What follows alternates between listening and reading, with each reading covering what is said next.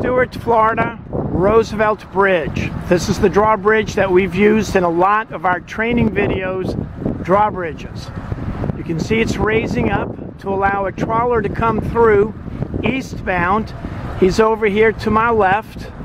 Looks like it might be a 36 foot monk or marine trader, 36, 38 foot neighborhood. There he goes.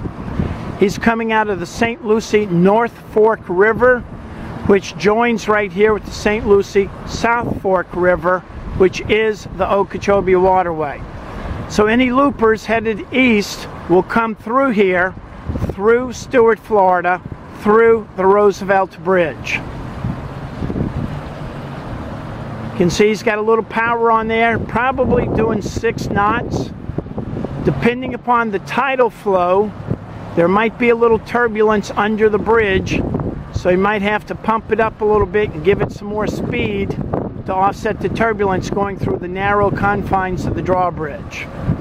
So look on our DVD training videos, drawbridges, learn more about this drawbridge, about the Black Railroad drawbridge, and other drawbridges around the loop around the United States. If you want to know more about cruising, just remember, ask Captain Chris.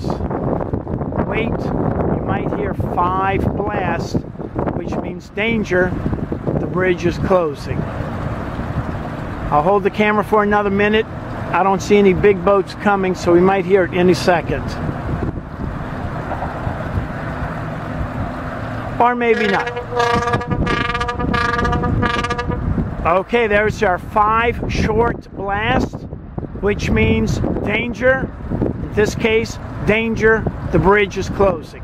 If you want to learn more about whistle signals, you know who to call. Ask Captain Chris.